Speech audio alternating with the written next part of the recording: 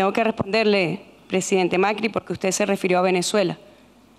Y yo no estoy hablando como un canciller, yo estoy hablando en nombre del pueblo de Venezuela y en nombre del presidente de la República, Nicolás Maduro Moros. Usted está haciendo injerencismo sobre los asuntos de Venezuela. Pero yo le voy a explicar. Usted está defendiendo a esta persona, nosotros lo sabemos, porque además lo ha hecho expresamente. Usted está defendiendo este tipo de manifestación. Usted está defendiendo esta violencia política. Bazookas fueron usados en las supuestas manifestaciones durante el año 2014 en Venezuela. No sé si habían visto estas imágenes. Usaron bazucas. Esto no lo tomó, esta foto no la tomó el gobierno, la tomó la agencia internacional AFP. Fueron las manifestaciones pacíficas, las protestas pacíficas durante el año 2014,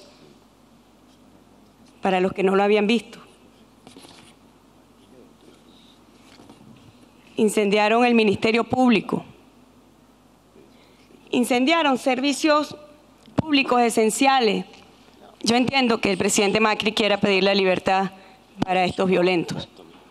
Lo entiendo porque sé que uno de sus primeros anuncios ha sido liberar a los responsables de la tortura, desapariciones y asesinatos durante la dictadura en Argentina.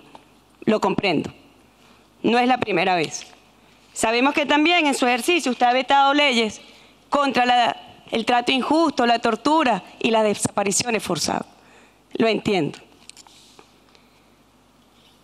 Recientemente vimos con sorpresa cómo se imputaba a Eve de Bonafini, muy querida por todos los movimientos sociales de nuestro continente, muy noble su causa, y fue imputada por llamar a las manifestaciones pacíficas en contra de su gobierno. Si nosotros vamos a hablar de derechos humanos de forma franca, como lo pidió el presidente Macri, tenemos que hacerlo sin doble estándar y sin doble moral.